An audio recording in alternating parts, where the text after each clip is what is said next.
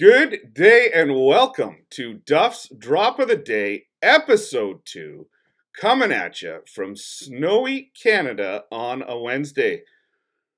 We've got here the Ultimate Pass Tournament. This is day three, the final round. Chance to finally win some rewards on this one. We're looking at hole 17, pretty long par 3. And let's get into it. So, First thing, go have a look. I had RB from the last hole. I can almost get there with the wood, but I'd be into that overpower. Don't like it. It's all about precision, and we want precise approaches. So, what am I going to do? I'm going to option B, which is Holy Driver. I love the Holy Driver on the par 3s.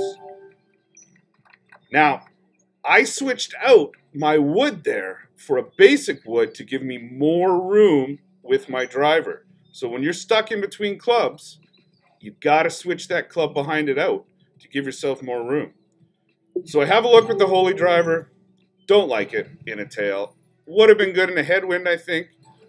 Didn't like it in a tail. So don't be afraid. Switch your clubs around. I'm going Fusion now. Fusion is definitely my second choice when it comes to these long par threes. Fairly accurate club. I've been using it for a long, long time pretty comfortable with it. So, first thing, get that backspin on. And we start to have a look.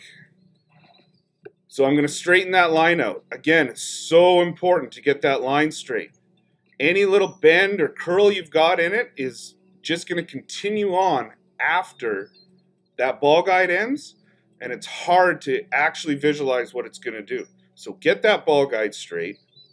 I know from experience there's a tiny little bit of right break right at this hole. But I'm basically lining up like left half of center.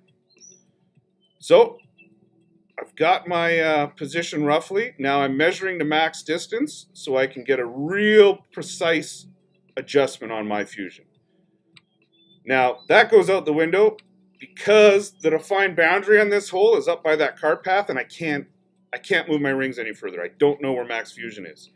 I knew I was close though, so I just added two rings to my calculation.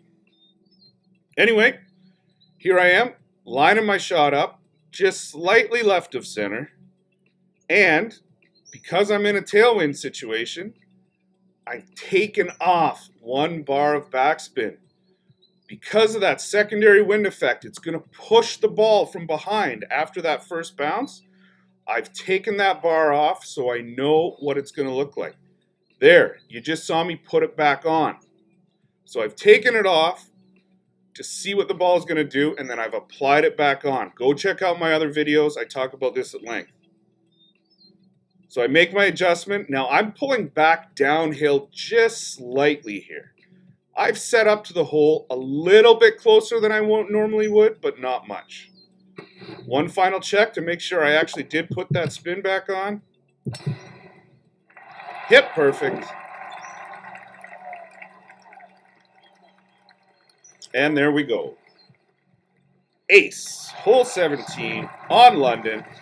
I've hit that one a few times. It's pretty straightforward once you get it figured out. Not a ton of trickery to it. And there's the round. Pretty good round.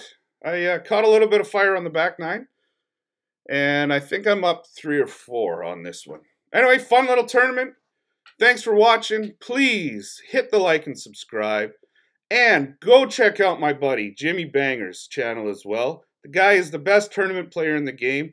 He's posted a few live streams now. You'll definitely pick up some tips from him as well. All right, thanks for tuning in. I'll be back tomorrow with another edition of Duff's Drop of the Day. Thank you.